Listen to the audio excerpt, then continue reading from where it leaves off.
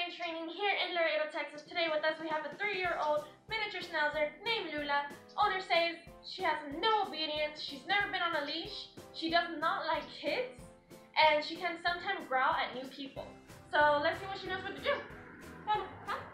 Good girl, Lula. Good girl. Lula, sit. Can you sit for me? Lula, down. Down. And there you have it. Stay tuned for the next two weeks and see your transformation.